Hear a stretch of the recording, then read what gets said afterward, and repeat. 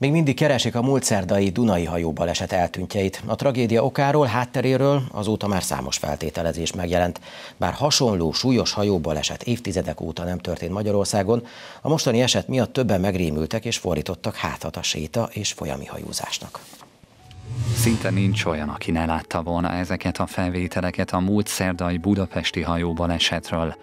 A rendőrség felvételen jól látszik, ahogy a viking szállodahajó ráfut és másodpercek alatt elsüllyeszti a Hablán nevű turistahajót, 35 emberrel a fedélzetén a Margit hídnál. A balesetben heten meghaltak, ugyanennyien megsérültek, 21-en pedig eltűntek. Közülük még csak néhány holtestet találtak meg.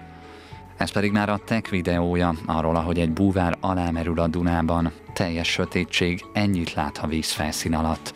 Csak tapogatózni tud, így nem csoda, hogy a mentési munkálatok lassan haladnak. Több szonárfelvételt is közzétettek a folyó fenekén fekvő hajóroncsról, amelyet egy úszódalú segítségével fognak kiemelni. A cél, hogy közben ne törjön ketté a roncs. Vendégünk a stúdióban a témával kapcsolatban dr. Tarnai Gábor, személyhajózási vállalkozó. Jó napot kívánok! Jó napot kívánok! Hát, mint szakember, gondolom van véleménye az esetről. Mindenképpen egy nagyon szomorú esemény. Rávilágít arra, hogy a vízi közlekedés szabályait ugyanúgy be kell tartani, mint bármilyen más közúti és egyéb szabályokat. És kis is ilyen tragédia lehet. Beszéljünk egy kicsikét a hátteréről, hiszen ha jól tudom, azért önnek is vannak információi, hogy ott a Dunán ebben az időszakban, amikor történt a baleset, azért nem kicsi a forgalom. Nagyon szép Budapest, este kivilágítva a Dunáról, különösen szép. Ebben az időszakban, ez a 8, 8 órától 10 óráig tartó időszakban, ezen az 5-6 kilométeres szakaszon, ami a Lágymányosi híd és az Árpád híd között van, 70-80 hajó mozog. Most ebben vannak egész kicsik, ilyen 20-40-50 férőhelyes kis hajók, illetve ezek a szállodahajók, amik több mint 100 méter hosszúak, és több száz ember tartózkodik rajtuk. Tehát hatalmas hajók, illetve csónakok, majd hogy nem. Így van. Tehát, hogy ilyen Így különbségek van. vannak, és akkor a baleset pedig emiatt következhetett be. Hát a baleset gyakorlatilag amiatt következett be, mert a, a híre, nyilván a hírekből tájékozódok én is, a szállodahajónak a vezetője úgy kezdett ennek a kis hajónak az előzésébe, hogy nem volt elég körültekintő.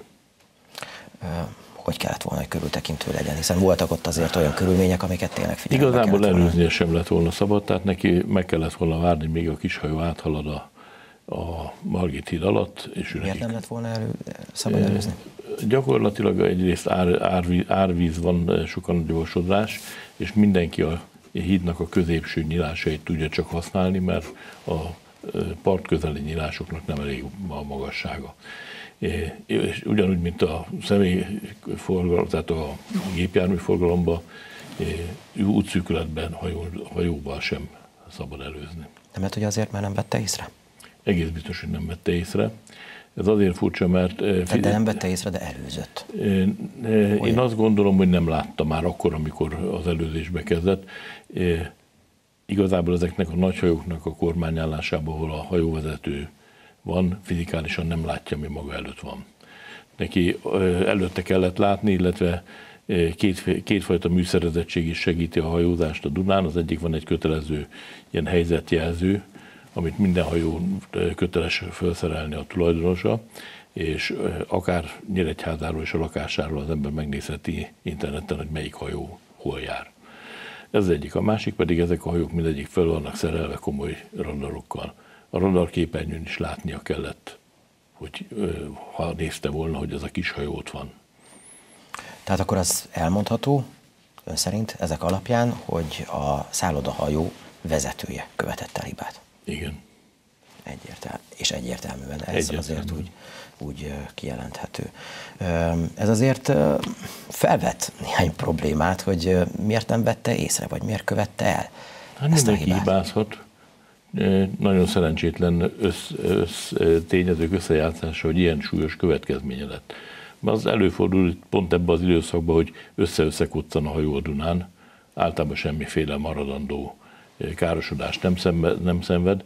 Ezek a hajók úgy vannak megépítve, hogy vízmentes terek vannak a hajófenékbe.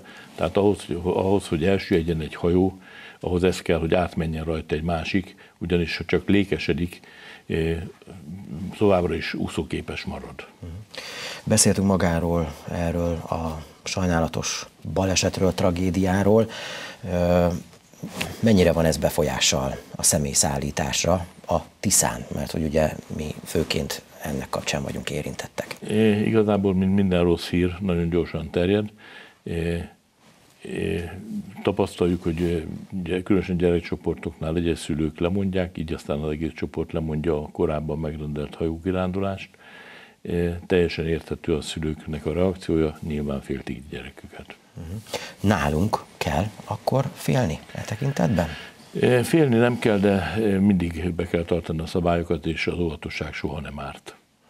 Nálunk azért nincsenek szállodahajók, mármint a nálunk az ugye a Tiszán. Hát igazából összességében is nagyon kevés hajó van a Tiszán, tehát az, hogy összeütközön két hajó, az elég ritka esemény lenne a Tiszán. A másik az, hogy, hogy ezekben az, ezekben az időszakokban, amikor olyan a vízállás, megvan az a, megvan az a mérték, megvan az árvízszint, amikor már nem szabad hajózni. Gyakorlatilag ez a Tiszán a harmadfokú készültségnek a kezdete. Ezzel is próbálják kiszűrni azt a veszélyhelyzetet, amit egy jobban, intenzívebben folyó víz okozhat. A Dunán azért nem volt harmadfokú készültség. Nem, nem, nem, nem, nem volt nagy árvíz a Dunán. Tehát Viszont azért a közlekedésben vigyázni kell, és balesetet szenvedhet akár az is, ha valaki egyszerűen csak kajak kenuzik a Tiszán. E, igazából a kajakkenusokkal talán kevesebb probléma van, mint a horgászcsónakokkal. E, kajakkenusnál ugye általában e, feltételezhető, hogy nagyon rossz időben nem indul el. Ugye? Tehát az ő novemberben nem nagyon szoktak kajakozni, kenuzni. Többnyire tudnak úszni viselnek mentőfel, mentőmellényt.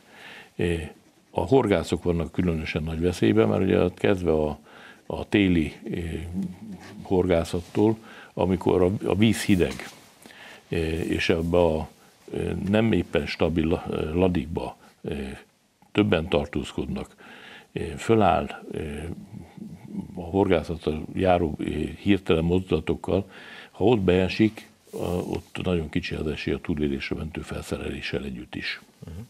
Azért lehet hallani olyat, hogy a Dunán ez a hajózás nem feltétlenül van túlságosan tisztázva, tehát vannak még olyan törvényi szabályozások, vagy olyan le nem játszott sakjátszmák, amiket le kell játszani, és azért ez felvett néhány kérdés, hogy itt milyen következtetéseket tehát lehet levonni egyáltalán egy ilyen balesetből. Szabályokat újra kellene írni, vagy, vagy, vagy, vagy akár a jogosítvány megszerzésével kapcsolatban szigorítani?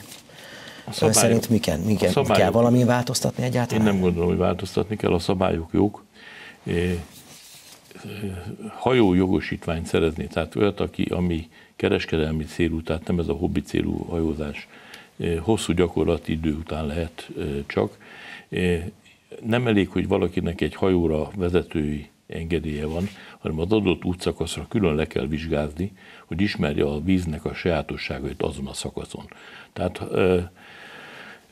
olyan szempontból ez nagyon érdekes, mert a Tiszáron nagyon kevés embernek van meg. Tehát amikor valami olyan fuvar van, hogy Budapestről mondjuk Tokajba jön egy hajó, akkor külön keresnek olyan kapitányt, akinek erre a szakaszra megvan a vonalvizsgája, úgy hívják ezt a dolgot. Pontosan azért, hogy tudja, hogy milyen sajátosságai vannak a folyónak. Beszéljünk akkor, térjünk is át a tiszai hajózásra mekkora a forgalom egyáltalán, hiszen azért ez, eh, most megtörtént ez a tragédia, de ez gyönyörű, ez fantasztikus, tehát az ember beleül, egy teljesen más perspektívából gyönyörködhet a tájban. És eh, azért szerintem közkedvel tud lenni, különösképpen egy ünnepnapon. Ünnepnapon ugye Nyíregyháza nagy része Tokajban van, hála Istennek. Különösen ez az időszak a hajózásban, a személyhajózásban egy jelentős, tele vagyunk gyerekcsoportokkal, iskolai kirándulásoknak egy-egy programja az, hogy el, eljönnek a Tiszán hajózni. Ugyanakkor vannak olyan programjaink, amik hosszabb utak, tehát Tokajból Szabolcs községbe járunk a Földvárhoz, Sárospatakra, a, a ottani Rákóczi várhoz, illetve a Dereszla pincészethez járunk ilyen borkostolós jártokkal, ezek is elég népszerűek. További fejlesztések? A, tulajdonképpen a hajózáson belül a, ezek a katamarán hajók lettek most a közkedveltek, mindenki erre cseréli a hajóit. Ezek lényegesen szélesebbek, és különösen rendezvényhajónak sokkal alkalmasabbak, mint ezek az egytörzsű hajók, ugyanakkor stabilabbak is. Lehetett hallani arról, hogy új kikötők létesülnek közeljövőben. Új kikötők igazából ehhez a kiránduló hajózáshoz kapcsolódóan készülnek. Ez a kiránduló hajózás, ez egy két éve indult államilag támogatott projekt. Arról szól, hogy kisköre fölött a Tiszán és a mellékfolyóin ilyen egy-két család részére alkalmas négy-nyolc személyes lakóhajók kerülnek bérbeadásra, úgyhogy nem kell hozzá jogosítvány. Ez közkedvelt lesz? Egészen biztos ennek kint komoly hagyományai vannak, és szerintem az első időben azok a, az emberek fogják igénybe venni, akik már Európa vízi útjait bejárták, és egy, találtak egy új kirándulási lehetőséget a Tiszát. Köszönjük, hogy itt volt nálunk. Köszönöm szépen, hogy itt lehettem.